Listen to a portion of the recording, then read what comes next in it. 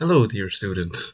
Today I will going to give you a complete history of music. I am Professor Big L, and this is on video because uh, Internet Explorer just told me that there's some kind of uh, virus going around and we need to uh, give all lessons uh, online, so I thought I'd make this recording. Uh, somehow there's uh, something like Corona 19 or something, I don't know, it's 2024, so I don't know what the 19 is doing there, but alright, let's get started. So in the dark times, there was no music, but then there was the first sound ever made. It was Gregorian chant. They also invented notation, but they were scared of course, so it did not sound very good. Then there was Bach. Bach invented music. The 565 is still the best piece ever. I don't know what the lobster is doing there in the corner.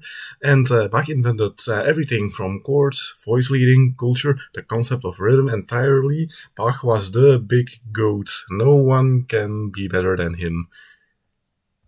And then we get to Mozart. He was a great Bach wannabe. Um, it was noteworthy that he already uh, uh, wrote the uh, 565 uh, from memory at the age of minus two. He wasn't born yet, and he already uh, was making some really um, Bach-like music.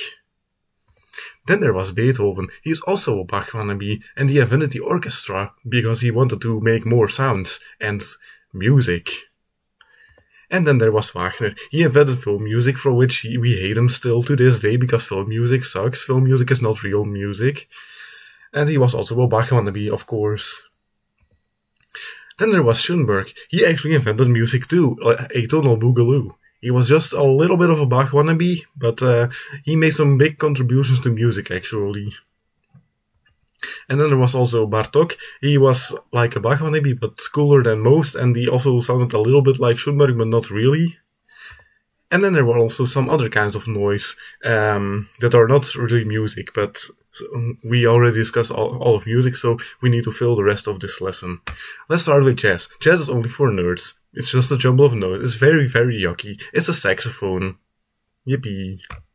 And then there's rock and pop. It's just filthy noise. Ew, we hate rock and pop. It sucks.